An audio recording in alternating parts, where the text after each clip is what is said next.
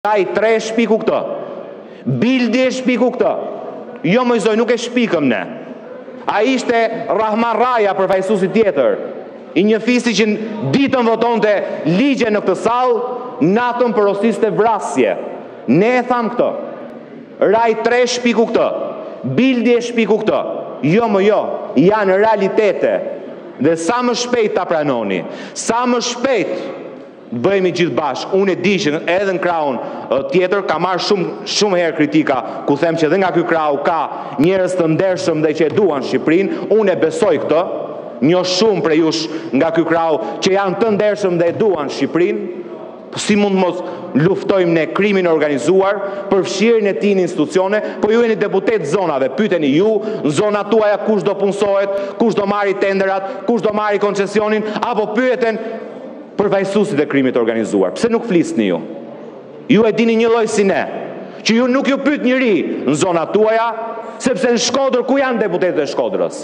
Vendosin ata kush do punësohet apo vendosin Bajrat? Ngriheni dhe thojini këtu. Ju i merrni vendimet. Në Durrës kush vendosin? Bandat apo deputetët e Partisë Socialiste? Vendosin bandat. Në Elbasan kush vendosin? Deputetët apo bandat? Nuk i dini ju këto. Patjetër që i dini, patjetër që ju shqetësojnë, por nuk reagoni. Dhe sot është dita që të reagojmë gjithë. Nuk ka asnjë faj, asnjë shqiptar. Nuk është kosto e Shqipërisë që Edi Rama ka një projekt politik për mbajtur pushtetin me dhunë përmes dhunës së bandave dhe fuqizimit të krimit organizuar. Ky është projekt personal i tij, që nuk do duhet krijojë ndasi për ta luftuar as majtas, as djathtas. Prandaj zonja kryetare, respekto Kushtetutën, mos u tall me shkresat e shtetit shqiptar, se këtu është koka, Kuvendi i Shqipërisë dhe stema e Republikës së Shqipërisë dhe ti nuk mund ta përdorësh këtë stemë sipas interesave kriminale të Edi Ramës.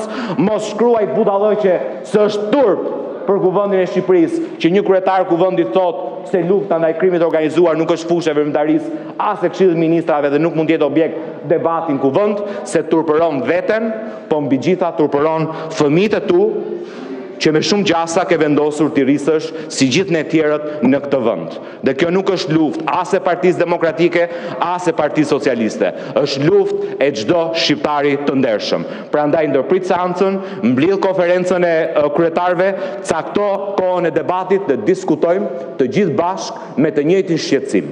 Shqetësimin për Shqipërinë, shqetësimin se si të shpëtojmë Shqipërinë nga kapja që i ka bërë krimi i organizuar me certifikatë dhe me leje qeveritare.